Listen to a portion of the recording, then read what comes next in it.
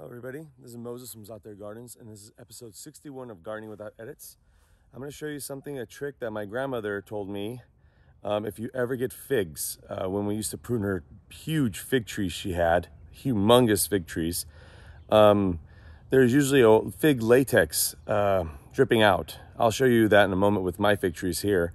Let me flip around the camera.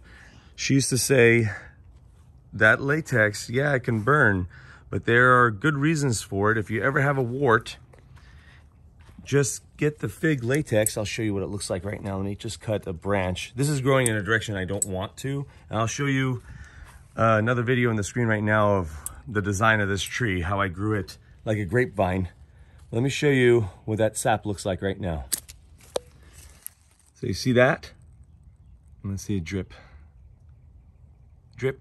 That right there can kill warts. NIH has already done a study, and I think, uh, yeah, I'll link the study in the description right now, but that, that drip can kill warts. Happy gardening, everybody.